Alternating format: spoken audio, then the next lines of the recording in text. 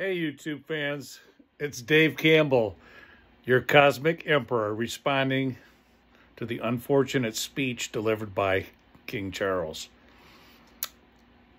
The 28th Amendment draft is going to be passed because it gives consenting governed authority to the people of the United States.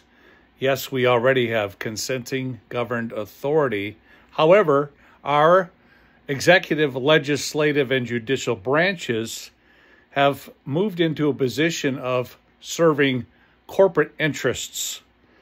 So, with systemic fraud through the SOX Act and the UK's ITIL, we are experiencing a tragic wealth gap that is growing by the day our free markets are being taken from us, parted and sold.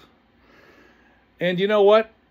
We're not going to do that anymore. We beat the tyrant 247 years ago.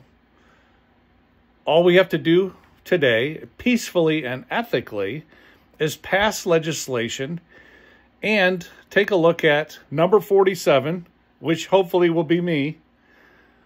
I'm starting a write in candidacy for president. And my position and strategy is to start a massive worker owned movement, a $15 trillion project, which will start investors investing in guess who? We the people. So that's my speech. Pass it on. Check out the 28th Amendment on cashinit.com. Links below.